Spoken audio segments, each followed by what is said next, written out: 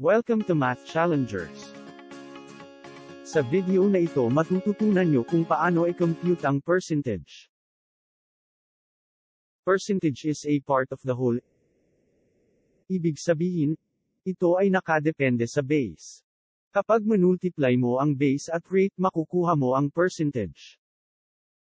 Ito ay pwedeng mas mababa sa base, pwede ring equal siya sa base, at pwede rin naman na mas mataas siya sa base. Base is the total or the whole. It is usually the number after the phrase percent of. Example, 75% of 120 is 90. Yung 120 ang base. Dahil sinundan niya ang phrase na percent of. Ang base ay laging 100%. Rate is the number with the word percent or percent symbol. Kung ang number ay sinundan ng percent symbol, o word na percent, yun ang rate. The Tekhan's triangle is used to find the percentage, the rate, and the base. Sa Tekhan's triangle, ang P which stands for percentage ay nasa itaas, at ang B na base, at ng R na rate ay nasa ibaba.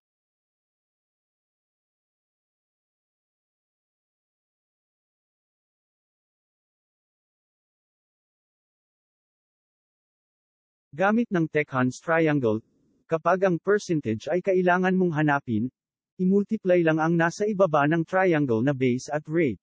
Kaya ang formula ng percentage ay percentage equals base times rate. Paano naman hanapin ang base gamit ng Tekhan's triangle? Nawawala ang base, ang P na percentage ay nasa taas, at ang R na rate ay nasa ibaba, kaya magdi-divide tayo. Ibig sabihin, ang formula ay base equals percentage divided by rate. Kung ang rate naman ang nawawala, ano ang formula? Dahil ang P na percentage ay nasa taas at ang base ay nasa ibaba, kaya magdi-divide din tayo. Ibig sabihin, ang formula ay rate equals percentage divided by base. Example What is 5% of 45? Ilagay natin ang mga given sa Tekhan's triangle, para malaman natin kung anong dapat hanapin. 5% ay rate ilagay natin dito. Tapos yung 45 ay base. Kaya dito naman siya ilalagay.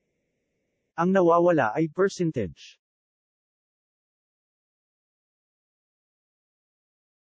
Para mahanap ang percentage, e-multiply lang natin ang base at rate.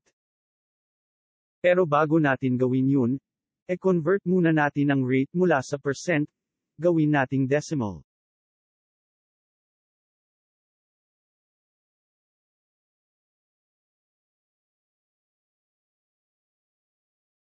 Para gawing decimal ang percent, tanggalin muna ang percent symbol, tapos ilabas ang decimal point na nasa kanan ng 5, ilipat ito ng dalawang beses papunta sa kaliwa. At magdagdag ng 0 kung kailangan. Ang 5% sa decimal ay 5 hundredths. Ngayon gamitin na natin ang formula para mahanap ang percentage. E-multiply natin ang base na 45, at ang rate sa decimal, na 5 hundredths. Mag-compute tayo. 5 times 5 equals 25. Ilagay natin dito ang 5. Carry 2. 5 times 4 equals 20. Plus 2 equals 22.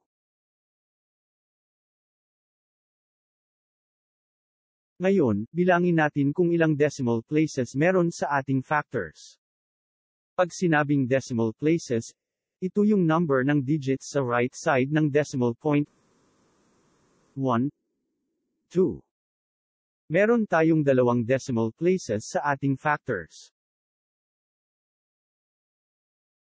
Dapat may dalawang decimal places din sa ating product. Magbilang tayo mula sa kanan, papuntang kaliwa. 1, 2. Dito dapat ilagay ang decimal point.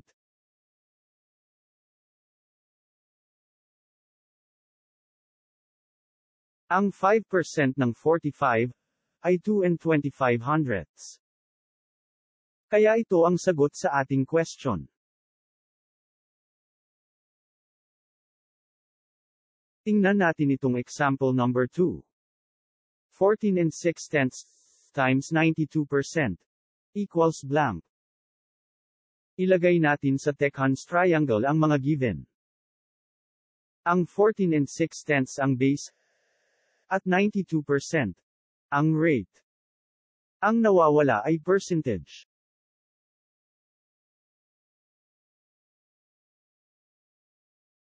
Para gawing decimal ang percent, tanggalin muna ang percent symbol, tapos ilabas ang decimal point na nasa kanan ng 92. Ilipat ito ng dalawang beses papunta sa kaliwa.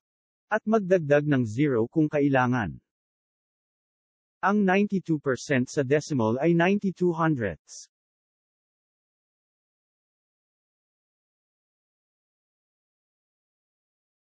Ngayon gamitin na natin ang formula para mahanap ang percentage. E-multiply natin ang base na 14 and 6 tenths, at ang rate sa decimal na 92 hundredths. 2 times 6 equals 12. 2. Carry 1. 2 times 4, equals 8, plus 1 equals 9. 2 times 1 equals 2. Next, 9 times 6 equals 54. Ilagay dito ang 4. Carry 5. 9 times 4 equals 36, plus 5, equals 41. Carry 4. 9 times 1 equals 9, plus 4 equals 13.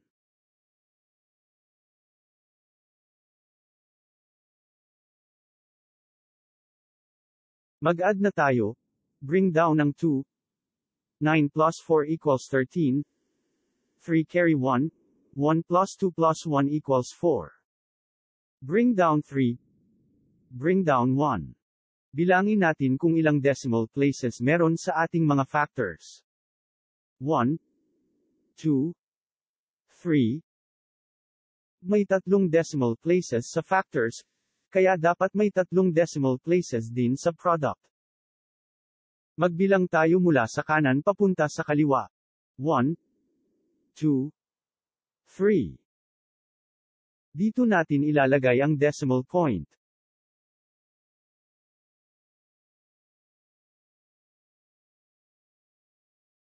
Kaya ang sagot sa 14 and 6 tenths times 92% ay 13 and 432 thousandths.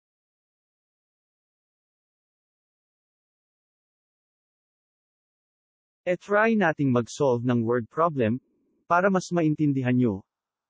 Habang nagbabasa ay i-highlight na kaagad ang mga given, at kung ano ang dapat nating hanapin. Some answered 90% of his science test correctly.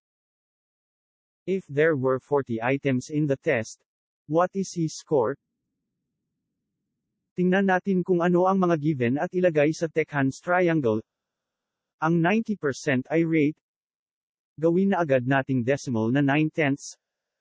Ang 40 ay base. Ang percentage ay nawawala.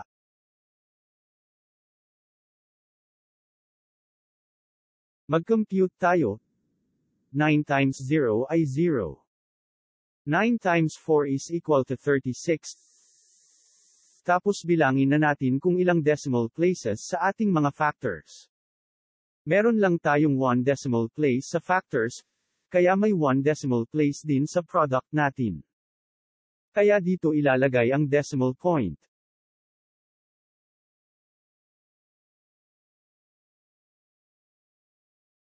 Ang sagot sa problem natin ay 36.